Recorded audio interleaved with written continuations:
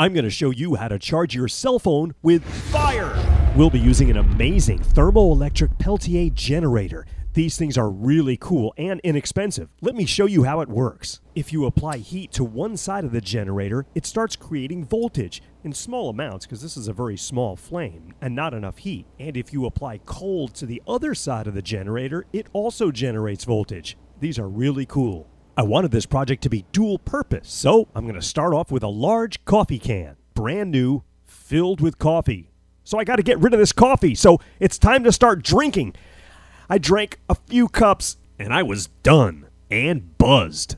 So I tried to give some to Tux the cat, but she only likes decaf. She's really picky. Okay, the coffee's gone and the container's been cleaned out. Now it's time to just remove the label, and we've got the basis for our hobo stove, which we're also going to use to charge our phone. We need a window where we can put our Kindle, so using a Sharpie, I drew about a 4 inch square in the side of the can. Then I drilled a small pilot hole and used a pair of tin snips to carefully cut out that square. Watch those sharp edges!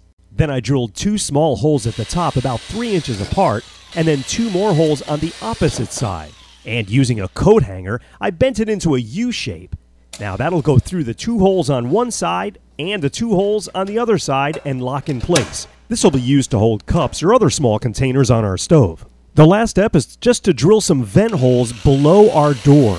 You'll want to drill five or six all the way around. This is just to vent some of the heat and smoke out. Now we need a charger cable. Since I'm using an iPhone, I've got an iPhone USB cable and we're going to clip the USB end off and then use the red and black wires because those are the ones that pass voltage to the phone. Then I solder the red and black to the positive and negative on the thermoelectric Peltier generator. We're almost done. Now to attach the generator to the can, I'm using a large hose clamp. You could probably use wire as long as you tighten it up really well. The generator is in place with the hot side making contact with the stove. Time to take it outside and test it out. I loaded up my stove with Kindle and started the fire. It's burning nice and hot now, so I figured, hey, I could use an egg.